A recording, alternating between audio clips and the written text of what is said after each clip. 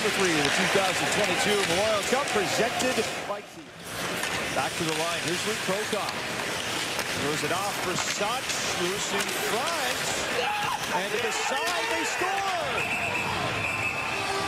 Simplifying in the power play. Just get to the puck to the net. And you can see Luypen there drawing attention to himself. And in late, it's Jaxsen Wiebe just squeegees one in and behind the pile.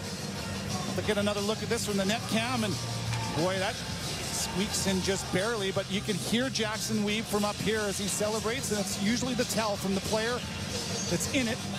Here's the overhead.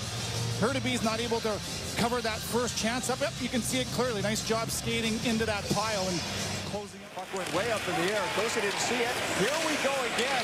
Williams with shot.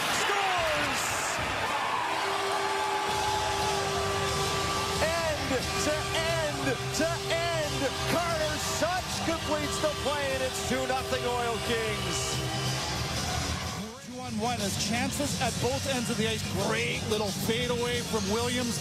Backhanded compliment to Carter Souch. And it took two times on the two on one to convert. And now the Oil Kings up 2 nothing here. We're not five minutes in. In game one, I think Brad Lauer was all over that in his pre-scout, and they have converted. In front, they score! Raivis Ansons!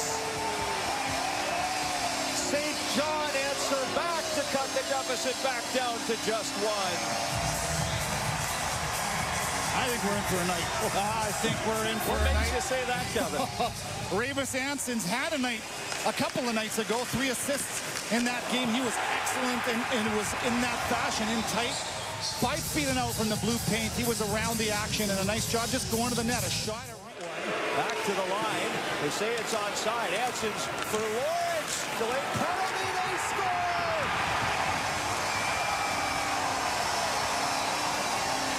Not even six and a half minutes in, and we're tied at two.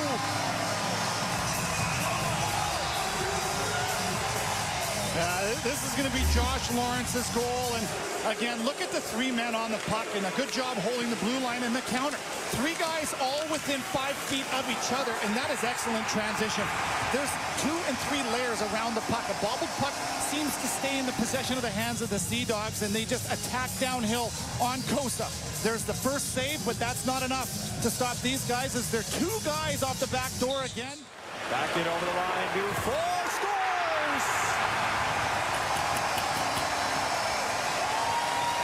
One, two, three. The Saint John Sea Dogs answer back with a trio of goals to take a 3-2 lead. Well, just watch how the Sea Dogs defend the neutral zone. It's a good job by the Oil Kings third line to be in the right spot to get out of their own zone. There's the exit, but look at the back pressure, the reload to be on the defensive side of the puck, and now transition. You catch the other team in numbers, and you don't want that guy barreling down on you. Do you have 56 goals? No one scored more in the regular season. The QMJHL most valuable player over the pad under the Chance developing. Raivis Ansons.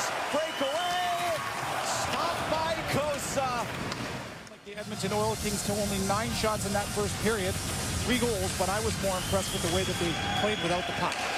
And here we go again for period number two. And now Souch with speed over the line. Up the middle, Carter Souch. The shot rattles off the post. Wiebe scores. Second of the game on the for Jaxsen Wiebe. And we're knotted up at three. Well, Jaxsen Wiebe is, wouldn't be considered trigger man on the power play. This is a guy that's physical, defensive-minded, and found regularly on the third line. This is all Carter Souch as he winds things right up in the defensive zone. He just takes his perpetual motion to the net, off the post, but a good job having a second layer, Jack. Can't get the pass across as Dalhaniak had lost his stick. That was a dangerous opportunity. Here's Cooney out of the box. Off the post. So five goals in the first period. Just one here in the second. It's an equalizing marker. And the Edmonton Oil Kings and Saint John Sea Dogs find themselves tied at three after 40.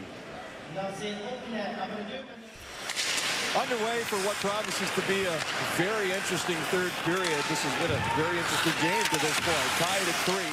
I know the answer. A lot of research, my friend, as Simon Cooper. Here's Dufour, left side, across for Francis, and he chipped it just wide.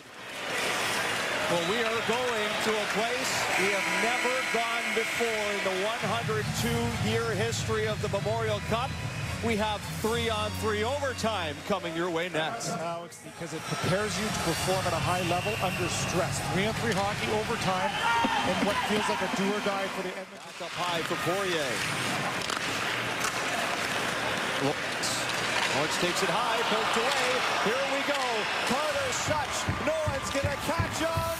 Big stop from Hurtubise. Back across. Still Three-on-three. During that stoppage in play. Everybody on their feet tonight in Saint John. Here comes Jaxsen Wiebe. Scores! It's three for Jaxsen Wiebe. He wins it in overtime. 4-3 the final for Edmonton. Well, he saved it for a night he will never forget. Jaxsen Wiebe was physical on the body. He started off with two goals, both on the power play, and he gets his first ever hat trick as a member of the Western Hockey League in the Memorial Cup. The first ever three-on-three overtime, and a nice job just scanning for ice. A 200-foot play as he navigates up the ice, rips it short side. And he will remember that along with his team. We're in a do-or-die situation, dropping the first game against Shawinigan last night, 5 to three. They come out with a couple of goals to start this one, and then three counterattacks from the Sea Dogs. They tie it up and win this one in overtime. Top corner, Hurtubise was excellent. Wiebe was better. 4-3 win and a big one in overtime for the Oil Kings. And the first ever three-on-three overtime at the Memorial Cup is one we may never forget, Kevin.